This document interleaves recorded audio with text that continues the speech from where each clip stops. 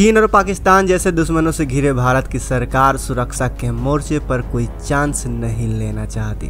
इसी कारण भारतीय वैज्ञानिकों की मदद से एक बेहद अचूक जुगाड़ निकाला गया है।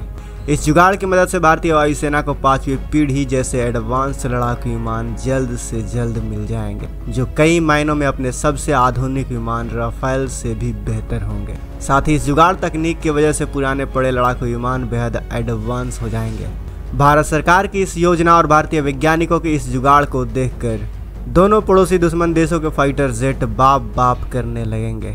तो आज हम इस वीडियो में भारतीय वैज्ञानिकों के इसी मायावी जुगाड़ के बारे में जानेंगे।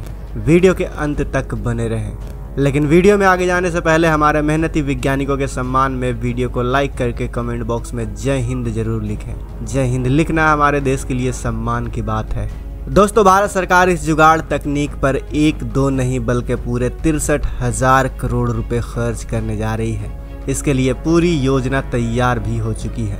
अब केवल प्रधानमंत्री नरेंद्र मोदी के नेतृत्व वाली सुरक्षा मामलों की कैबिनेट कमेटी को इसकी मंजूरी देनी बाकी है। दरअसल ये पूरी कहानी है रूसी लड़ाकू विमान सुखोई थर्टी एम के आई को बेहद आधुनिक देसी तकनीक से लैस करने की। आपको तो पता ही है कि आज हमारी खुद की तकनीक इतनी एडवांस हो चुकी है कि हम युद्ध को जीतने वाली ऐसी ऐसी घातक वेपन सिस्टम बना सकते हैं, जो दूसरे देश के पास मौजूद भी ना हो। और भारतीय वैज्ञानिक भी ऐसी ही तकनीक डेवलप करके सुखोई को अपग्रेड करने वाले हैं, जिससे यह सुखोई विमान बेहद खतरनाक बन जाएँगे। इसके बाद ये भारतीय वायुसेना को अगले करीब 30 सालों तक अपनी सेवा दे सकेंगे। इन विमानों में देसी तकनीक जोड़े जाने से यह दुनिया के कुछ चुनिंदा, सबसे खतरनाक विमानों की श्रेणी में शामिल हो जाएँगे। इनके फीचर अधिकतम मामलों में पांचवी पीढ़ी के लड़ाकू विमान जैसे ही हो जाएँगे। टाइम्स ऑफ़ इंडिया की एक रिपोर्ट के मुताबिक, रक्षा मंत्रालय ने इस संबंध में ड्राफ्ट नोट तैयार कर लिया है। इसके तहत पहले चरण में चौरासी सुखोई विमानों को अपग्रेड किया जाएगा। इस अपग्रेडेशन में तिरसठ हज़ार करोड़ रुपए खर्च होंगे। इस अपग्रेडेशन में डिज़ाइन फीचर और टेक्नोलॉजी पर काम किया जाएगा। अपग्रेडेशन के बाद ये विमान क्षमता के मामले में पाँचवीं पीढ़ी के विमान बन जाएँगे। हालाँकि इसमें पाँचवीं पीढ़ी के विमानों की स्टिल्थ टेक्नोलॉजी मौजूद नहीं होगी। लेकिन सबसे शानदार बात यह है कि हमारे वैज्ञानिक अब इसके मैन और अनमैंड वर्जन तैयार करेंगे। यानी इसको पायलट के द्वारा भी उड़ाया जा सकता है और पायलट लेस भी।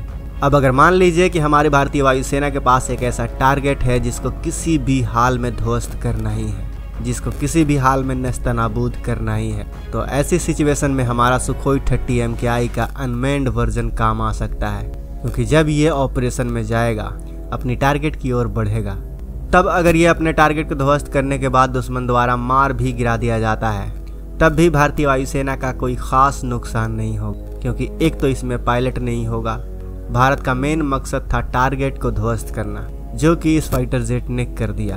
दोस्तों, इसकी मारक क्षमता को अचूक बनाने के लिए इसमें एआई और डाटा का ज़बरदस्त इस्तेमाल किया जाएगा। ऐसा होने के बाद ये सुखोई विमान 2055 तक भारतीय वायुसेना की सेवा कर सकेंगे। आपको बता दो कि भारतीय वायुसेना लड़ाकू विमानों की कमी से जूझ रही है। उसके पास केवल 30 स्क्वाडन है, जबकि चीन और पाकिस्तान दोनों से संभावित खतरों को देखते हुए। कम से कम 42 स्क्वाडन की ज़रूरत है। यानी अभी हमारी वायुसेना के पास 12 स्क्वाडन की कमी है। एक स्क्वाडन में 16 से 18 लड़ाकू विमान होते हैं।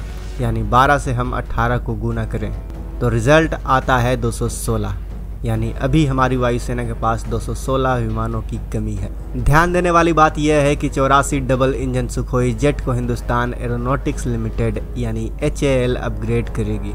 इसमें 15 साल का समय लग जाएगा। कैबिनेट कमेटी की मंजूरी मिलने के बाद इन विमानों को अपग्रेड करने के लिए डेवलपमेंट वर्क में ही सात साल लग जाएँगे। मौजूदा वक्त में भारतीय वायुसेना के पास दो सौ उनसठ सुखोई लड़ाकू विमान है। इसमें से अधिकतर का निर्माण रूस के साथ लाइसेंस ट्रांसफ़र डील के तहत एचएल ने ही किया है। इन विमान में बेहद एडवांस रडार सिस्टम विरपच को इंस्टॉल किया जाएगा।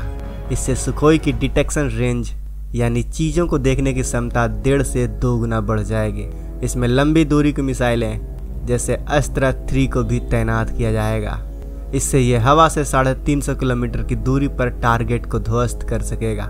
कुल मिलाकर इन विमानों में इक्यावन सिस्टम को अपग्रेड किया जाएगा। इक्यावन सिस्टम दोस्तों, गौर कीजिएगा। अभी हाल ही में एक रिपोर्ट निकल कर आई थी। ये रिपोर्ट थी ब्रिटेन के थिंक टैंक कंपनी रूसी की। इस रिपोर्ट में यह कहा गया था कि भारत और चीन का युद्ध 2025 से 2030 के बीच हो सकता है।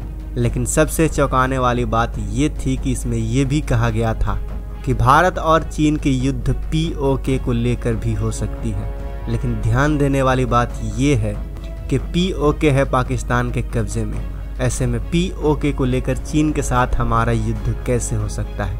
तो दोस्तों, मैं आपको बता दूँ कि पीओके में चीन ने अरबों डॉलर को इन्वेस्टमेंट किया हुआ है और इसी इन्वेस्टमेंट को बचाने के लिए वो पाकिस्तान के साथ आ सकता है। और ये बात हमारे जो डिफेंस एक्सपर्ट हैं, वो भी बहुत अच्छे से जानते हैं। इसलिए हमारे वैज्ञानिक, हमारे जितने भी घातक वेपन सिस्टम हैं चाहे वो फाइटर जेट हों, चाहे मिसाइल सिस्टम हो, चाहे वो परमाणु वॉर हेड हो, इन्हें पहले से ज़्यादा घातक बनाने में लग चुके हैं। तो दोस्तों, हमारे वैज्ञानिकों की हौसले की अफजाई के लिए वीडियो को लाइक करते हुए कमेंट बॉक्स में जय हिंद लिखना तो बनता है। साथ ही आपने अभी तक इस चैनल को सब्सक्राइब नहीं किया हो तो अभी कर लें ताकि हमारे आने वाले वीडियो को आप मिस ना कर सकें। मिलते हैं अगले वीडियो में। जय हिंद, जय भारत।